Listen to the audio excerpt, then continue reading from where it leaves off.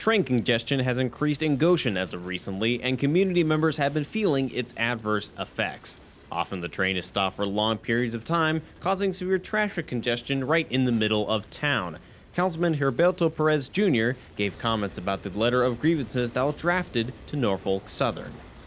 The mayor was working with the uh, sheriff and other elected officials, such as the county commissioners, Uh, stating our displeasure with what's happening right now. The letter, which was sent to the Norfolk Southern Board of Directors, was very clear about the issues regarding the stopped trains, specifically containing the phrase that the city of Goshen was being held hostage by stopped trains for nearly three hours in recent times. Not only did they cite blocked traffic as an issue, but also being a hindrance to school buses and emergency vehicles. The hospital is important for people, and something like a 30 to an hour long train delay could make a lot of difference. Working at the hospital, I know if there's an ambulance stuck on the other side, that's not great for patient care, patient outcomes. Like I know we now have the overpass on the north side of town and on the south side of town, but those are way out of the way for any type of emergency vehicles trying to get to the hospital. That's it's definitely something I think about when I think about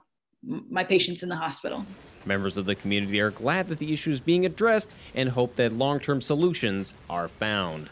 Well, I was impressed. I never thought that uh, the town would actually decide to come together as a community and get like different local leaders and actually try to bring their concerns and the community's concerns to the railroad company. I, I think it's a good thing that they're discussing it. It needs to it needs to change.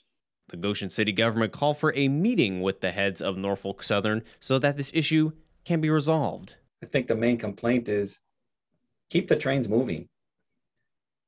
And the solution is keep the trains moving. Don't don't uh, have them stop because it impacts our our daily life. Reporting for Globe News, I'm Jeremiah Sherrill.